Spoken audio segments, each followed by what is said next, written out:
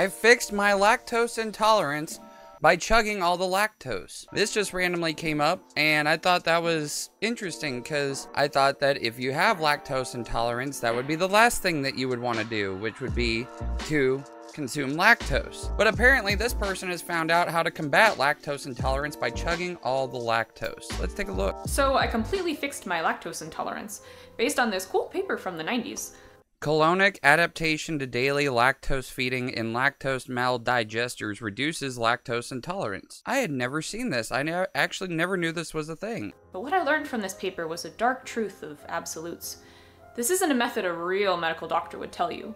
It basically involves cramming lactose for two weeks and suffering the protests of every part of your digestion. This Oh. is not a recommendation, this is a documentation of the power of science and the lengths I went to to be able to eat mozzarella sticks again. Mmm. Yeah, I bet she's going to be in a lot of pain by the end of this. I don't know. I would be like, well, you know, I don't really drink milk anyway. I don't have to have cheese. Maybe I'll just skip this one out. All was well between me and my love of milk until COVID. At least that's what I told myself, though in retrospect, the signs of my decreasing lactase production were present. I was just ignoring them. Lockdown was what sent my lactose intolerance spiraling. My schedule was jumbled. I was too depressed to make myself nice morning drinks, so I stopped drinking milk tea for a few months. When I finally had milk again, it was bad. Like, really bad. I have noticed that whenever I try to drink any milk product, since I don't actually drink a lot of milk, sometimes the milk is like really hard on my stomach. Like I could just get like a regular. Here we have Hiland and Great Value. We got a like the regular Great Value whole milk jugs.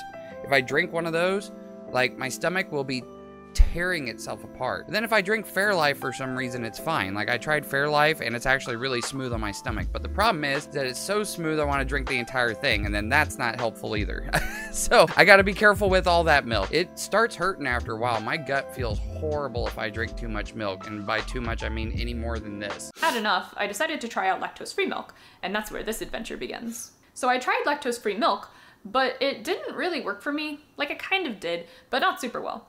I would say my Yeah. symptoms went down by maybe like a third, but I really wanted no symptoms. So I looked into how lactose free milk is made. So to zoom out, lactose is a complex sugar in milk that needs a special enzyme, lactase. Jesus Christ. Okay. OHCH2OH, OHCH2OH, O O O O To make lactose free milk, they extract lactase enzymes from fungi and then add them straight to the milk to break down the lactose before you even drink it. Actually, hmm. cheese and yogurt are generally not as bad for people with lactose intolerance because the microorganisms that ferment them also eat and break down the lactose. I wasn't sure why lactose free milk Really? Okay, so you can still eat cheese. All you lactose intolerant people, eat some goddamn cheese. What are you doing? I wondered whether maybe mixing lactase with milk didn't yield a complete reaction for whatever reason. I decided to read hmm, more about maybe. how exactly the process worked. I went on Google Scholar and searched lactose breakdown, or something like that, and found this great paper from the 90s. Colonic adaptation to daily lactose feeding in lactose maldigesters reduces lactose intolerance. Basically, It reduces if you're lactose lactose maldigester, meaning you're lactose intolerant, and you consume lactose daily, your colon will adapt. But what inspired this research? You see, the United Oh, States. I actually thought uh, colonic. I thought that was meaning like uh, the the old colony, like the olden times. I didn't know it was talking about where you shit. Red Cross assails use of non-fat dry milk in hunger relief programs. Yeah, I know that we sell a bunch of the uh, non-fat dry milk. We sell the condensed milk and stuff, and people buy that up like crazy. I mean, of course, pe- people still buy like gallons and half gallons of milk, but no, this non-fat milk is actually like pretty popular. States had an excess of powdered milk in the 80s and decided to donate it to countries experiencing famine. Countries where no one could digest lactose. The United Yeah. States routinely has offered non fat dry milk, of which this nation has millions of tons in surplus. As a oh, food Oh, yeah, they- to we do. regions of the There's a shit ton In of it. some cases, the donation has caused more problems than were solved. What?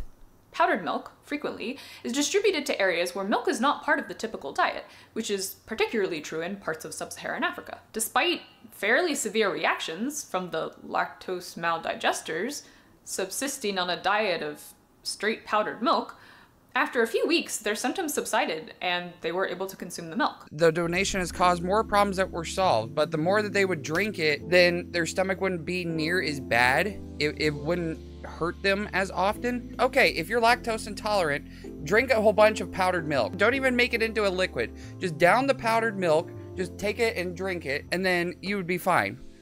I did this. yeah, don't do that. Don't don't do what I just said. Subsisting on a diet of straight powdered milk, after a few weeks, their symptoms subsided and they were able to consume the milk. But why? Most people with lactose intolerance are actually the evolutionary default. For them, the mammalian lactase gene, the DNA instructions to make the lactase enzyme, are only active as a baby. This makes sense hmm. because in nature, only babies nurse. This lactase gene Well, stops true. being expressed after they would have been weaned, meaning no more lactase enzyme, meaning no more chocolate banana split sundaes.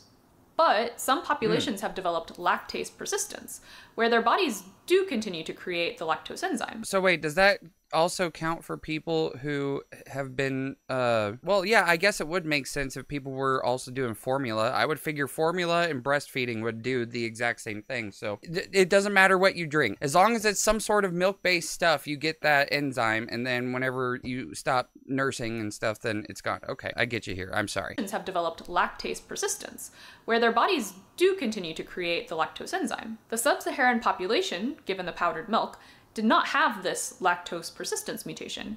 They didn't have any lactase. So the question is how did their bodies adapt to the lactose? What really changed was their gut biome. You see, we digest the food we eat, but so do a myriad of various bacteria living in our guts.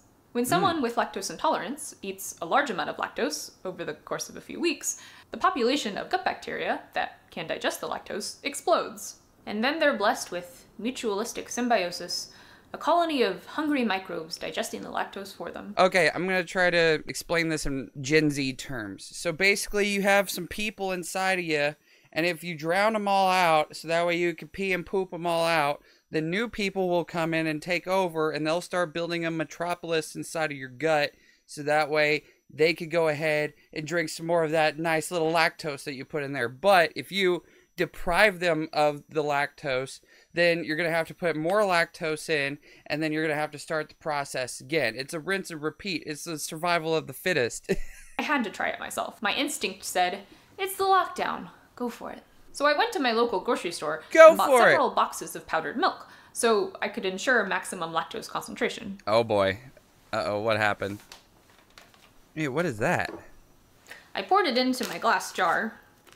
Wait, what is that? Low fat milkman milk? Where are you from? I have never seen that before in my life. Oh my god, it's actually a thing. Is it even available in stores? I feel like this is only like you gotta you, you gotta order this. Damn, I may need to try that at some point.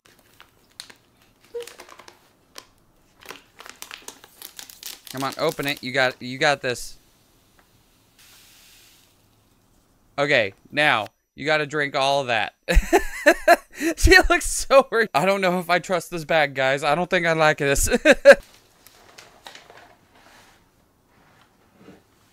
And then I added less water than it called for. hey, hey, why don't you put the jar down on the table and then fill that up? Because I feel like that this is gonna. Actually, you know what? You know what? It's your channel. You you do what you want. Because I wanted sort of this like thick slurry.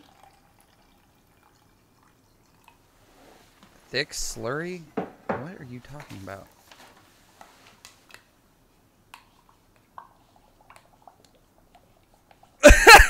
What's happening?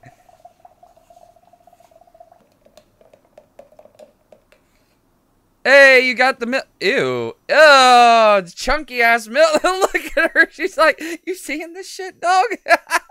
Ew. And then I chugged it nonstop for two weeks. Oh. Wow, the smell is really bringing me back. First came the pain, intense stomach cramps, and Oh, boy. very loud stomach grumbles, or borborygmus, heralding the beginnings of the battle. Then came the smell. If you have roommates, Mm. they will despise you. Then came the extended bathroom time. Turns out, You smell bad. excess lactose in your colon also messes with your osmotic pressure. There will be a lot of liquid. My entire digestive Oh, system was groaning oh. in protestation. But this was only day one. I believe in science. I couldn't give up yet. The second day was a bit better, only in that our sense of smell relies somewhat on novelty, so if you smell the same farts for long enough, you basically stop smelling them. Ew. Or at least that's what I told my roommates. Day three. At this point, I if you smell the same thing for so long, you just become immune to it. That's like what they tell people with cigarettes. The more you smoke cigarettes, the more you just won't smell them anymore. I mean, you gotta do what you gotta do, though. That's the way you clean out the bad and come in with the good. Yeah, that's right. I was starting to get dehydrated, despite all the liquid I was drinking. I was losing too many electrolytes. My solution, of course, was to add some salt to my milk slurry. This was fine. I mean, I wasn't doing this for the taste of powdered milk. I was doing it for the ice cream sundaes of my future.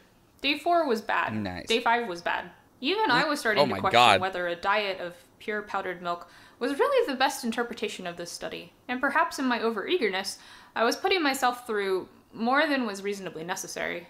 Day seven was an improvement, mostly because I let myself eat other food, as well as the powdered milk. After that, hmm. though, I started. Well, to that's good. experience a logarithmic decay of symptoms. By the end of the two weeks, I was nearly asymptomatic. And by that, I mean back to my regular old irritable bowel syndrome symptoms. So now I had to test my newfound lactose superpowers. I got all of my favorite foods that caused me problems ice cream, soft cheese, mm-hmm. milk tea, mm-hmm. and nothing. No problems at all. I was cured. God, I'm gonna say this wrong. Like the flu shot has stuff in it, so that way you can combat whenever you get the flu. Like it gives you like a little dose of something that's equivalent to it. That's pro- probably what this was. It was like you just dose yourself up with all of this lactose stuff, and then it's like, okay, all those things are in there. All the things came out that weren't supposed to be in there. And now you can eat ice cream again. Congratulations. Would you like to go to Andy's Frozen Custard? In conclusion. All right, what's the conclusion? Would I here? recommend this method? No. Also, for some reason, I'm still kind of sensitive to whey, but only when it's an ingredient in something else, like a protein bar. Maybe I need to do a whey diet next. Also, just because this worked for me, it probably wouldn't work for everyone. Everyone's gut biome is different. Also, while lactase intolerance does not cause damage to the gastrointestinal tract, it sure feels like it does. No, I bet it does. And I'm pretty sure no sane doctor would recommend this to anyone. I just wanted to share my cautionary tale. She fixed her lactose intolerance. But at what cost? That was a hell of a video. You're gonna like this. Go and subscribe to HD or HG Modernism. Modernism. This person, go subscribe to her. that, that was interesting. Okay, like I, I'm pretty. I'm pretty happy about what I just witnessed there. All right, this was just a random YouTube channel that I found. I didn't know what else to do for a YouTube video because there's just not enough time in the day and there's so much more things that I need to do. I hope you guys enjoyed it. Uh, go take a look at some random YouTube channels. There's so many that pop up in my uh, recommended page now. I, I want to take a look at all of them, see what these crazy ass videos that other people are putting out look like. All right, y'all. I gotta get going. I will see you guys in the next video. Bye!